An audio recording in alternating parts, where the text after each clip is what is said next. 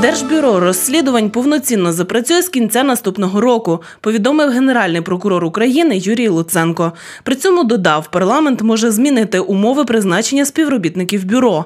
Зараз, відповідно до закону, всіх працівників призначає спеціальна комісія.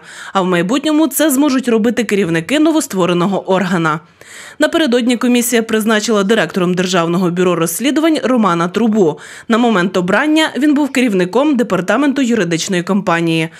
Головні функції бюро боротьба з організованою злочинністю, розслідування злочинів посадових осіб Національного антикорупційного бюро та антикорупційної прокуратури. Я вітаю крок ДБР як фактично фінал, е, який покінчив із радянською моделлю тоталітарної каральної системи. Тепер чи буде вона функціонувати? Безумовно буде. Е, Відповідна комісія важко, з моєї точки зору, надто довго, але таки обрала трьох керівників. Згідно закону, е, всі кандидати пройшли через детектор брехні, співбесіди та інші тести та інші процедури.